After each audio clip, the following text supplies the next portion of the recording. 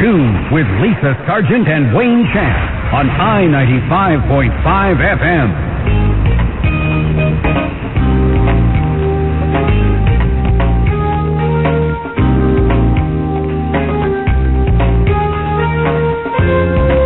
Folks, welcome back to our second hour. It's just about 12 minutes after 11 o'clock as the morning is going by so quickly, are we in? But lots of great information. Again, we want to urge everybody to go and get tested Friday and Saturday. It's free. And as we heard as well, that in the healthcare centers, it's free any which way. So if you have an excuse why you can't go and be tested for HIV on Friday or Saturday, you can go at another time. Knowledge is power, people. It can make a big difference in your life. So, Mister, Well, Lisa, um, it was a positive program. yeah. And you know what was the amazing thing too? At the end of the program, I think is um, uh, the lady said, uh, Uh-huh. What's her name again? The one who was sitting on Anne, Yes, good. Anne, Anne. Marie. Anne Marie. hmm She says she always listens to the program. Yeah. And she, when she feels I quarreling, but she realized now that I have a voice that's a strong. A Corlin voice. a kind of quarreling voice, but I don't actually be quarreling. So I was glad you were able to get that experience because I know it's a perception a lot of people might have, but they don't understand the voice naturally had so this you kind are. of you know, pitch state and this kind of I think when you get passionate, bacchanal it. when you get passionate about something as well, Yes. you could hear the passion in your voice. Yes. You know. So. Well, in the second hour, ladies and gentlemen, we want to um, interview someone else. And this person is Lyndon Baptiste. And Mr. Baptiste, Baptiste, right? Mr. Baptiste, as a young man, he has been writing books on different type of experiences. Um, and most recently, he had released another piece out of a personal experience and he entitled the book My Own Thesis. Oh, my God. I said thesis. But it's, it's my own testicles. oh my, My- testicles. Oh, my testicles, the name of the book. Yeah.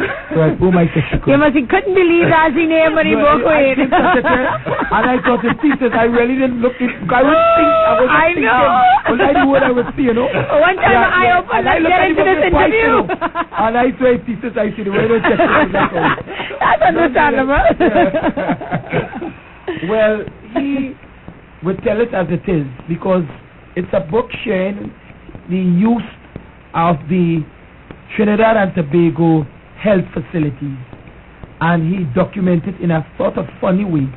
Welcome, Ms. Baptiste, to the microphone of I ninety five point five. All right, thanks a lot. And tell us and the listening audience, what would have been the main um, experiences that would have pushed you this direction to write this particular book? All right, well, um, it began when I was doing some painting at home, Mm. and I leaned very carelessly against a ladder, and um, I succumbed to something known as testicular torsion, which Mm. is where your spermatic cord literally twists like a hose. It kinks like a hose. painful. Yeah, yeah, yeah, definitely. So from there, I went to a general practitioner, then to Mount Hope Hospital.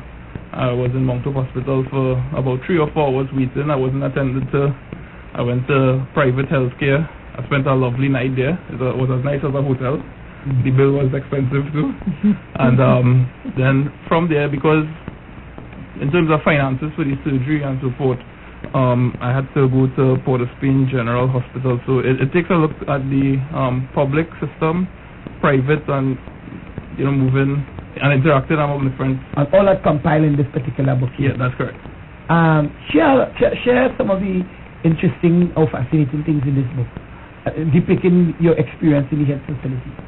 Well, I think one of the, well, at a personal level, um, one of the interesting things was, you know, being a man having um, a problem that's so sensitive and um, being required to share it with almost everybody I encountered in the healthcare industry.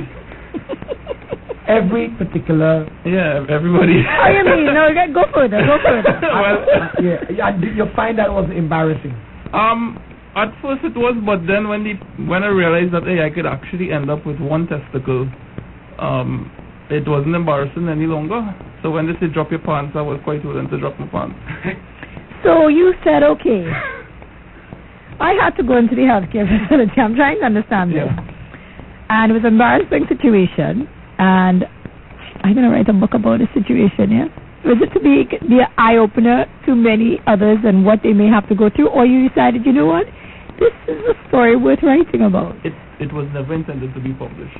Um, Oh. When when I wrote it, I just put it down. Um, the initial title of it was "The Right Ball in the Wrong Pocket," and um, but then I wrote 90 Days of Violence, my first book, and this this script was just sitting at home collecting dust on the computer, if you want to say that, and um, I decided, what the hell, go for it. Hmm. And um, the title catches people. Some people think it's Let me see.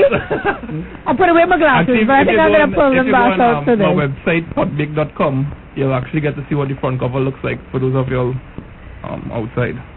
Okay.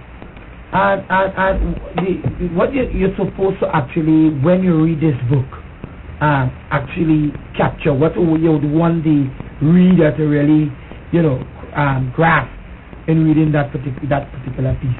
Um, well, I, I went into grass as something that could happen to almost any meal. Um, it isn't something that a lot of even the people I met, they weren't familiar with testicular torsion. I mean, you say hernia and off the bat, people know, all right, what we're dealing with. Um, also to capture the the uh, snapshot of what the healthcare industry looked like in 2007 at that point. Um, In a nutshell, how would you describe it at Uh, that time? At that time, it wasn't it wasn't pleasant in Mount Hope, the wait, because I'm sitting down in a room um, with about 50 persons or so waiting. Um, you're waiting and hoping that the next name called over the speaker system is yours. It isn't happening. Then you're wondering, all right, this guy next to me might actually be suffering more than me. So you're you're happy for him, yet you're sad for yourself when he moves on. Um, when we when we left there is when I was beginning to think, you know, nobody really doesn't they don't take anything serious. So I'm I'm glad that this book is out here now because really and truly there are a lot of things that um could happen and people aren't aware of it. You know, there are some people who have never even been to the public hospitals. They have facilities where they could just up and go to our private healthcare industry. If I read your book as a foreigner, hmm and something should happen to me if I am within the country, you think my I would not be up from reading your book to visit the, the public health facility? I think you might take a helicopter back home. what would you What would you say now, um, in 2010, considering our health facility in uh, uh, uh, opposed to your experience in 20 in, in 27? Um, well, with the new government, um, waiting for the 120 days to really see what materializes. I mean, you're seeing things appearing in the newspapers, people getting surgeries. Um, so um, I'll wait and see about that. You think you would like to share a specific part of this book for the audience? Uh, yeah. Share something. I find it. I, I just flipped through and I find it um quite realistic. I um I had a stint in the hospital once myself, and um yeah, there's there's some things that you could look at afterwards and laugh, but at the time, definitely it was not amusing at all. you go, Lisa. Mm. I go show how both face are operated just in most recent time here. Yes. Mhm. One second, Yeah, ah. sure. All right, I'll, I'll just um, share a part in Mount Hope Hospital And apart in the private hospital. and a part in the private Yes. hospital. Yeah. Um, I'm in the waiting room in Mount Hope, right? Yes, Mhm. right. The most What notable. page you reading from in the book? I'm reading from page 17. okay. Yeah. The most noticeable feature of the waiting room was the stink lingering scent of death, although there were more than 50 living people huddled together in the tight box. I averted my eyes to the floor, but the window on your right was still pretty easy to find. I shoved the paper through a slim recess to a gloved noose and wondered how much germs could be on the paper.